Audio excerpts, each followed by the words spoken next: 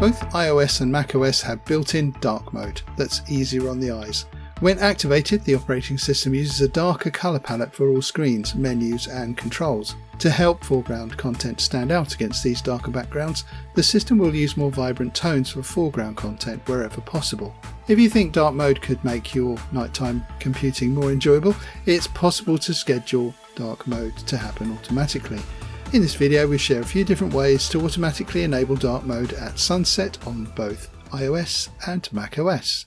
Dark mode is available on macOS Mojave and higher, including macOS Catalina. Assuming that you're running a more recent version of macOS, you can schedule your Mac to switch themes automatically at sunrise and sunset.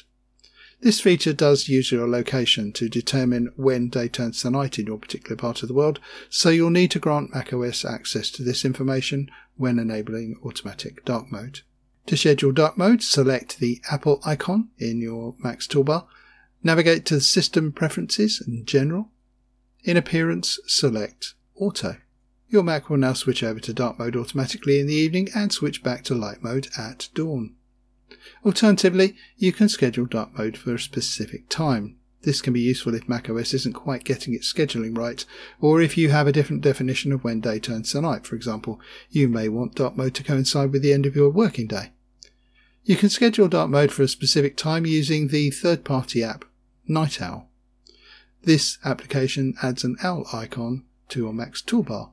You can activate dark mode at any time by clicking on this icon and then selecting light or dark. Alternatively, you can schedule dark mode to activate automatically at sunset by selecting sunrise or sunset.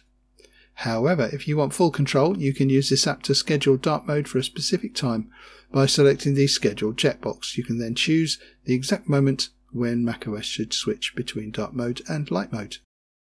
Schedule dark mode on iOS. Activate dark mode on your iPhone manually by launching the Settings application and navigating to Display and Brightness and then tap Dark. Also, quickly and easily activate dark mode from your iPhone's control center. Simply drag up from the bottom of the screen, then press and hold the brightness control. Now you can toggle dark mode on and off with the tap of a button. This is great for quickly switching between light and dark modes, but if you're activating dark mode at the same time every day, then why not automate the process?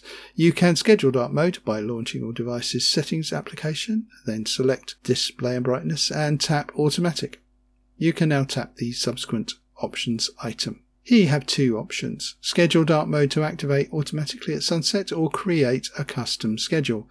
If you tap custom schedule, you'll be prompted to choose a time when iOS will activate dark mode. Simply enter a time and that's it. The iOS operating system will now switch to a darker colour scheme based on the schedule set by you.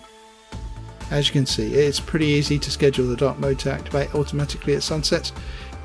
If you're using Android, why not check out our tricks to enable dark mode in all apps in Android. Links in the description.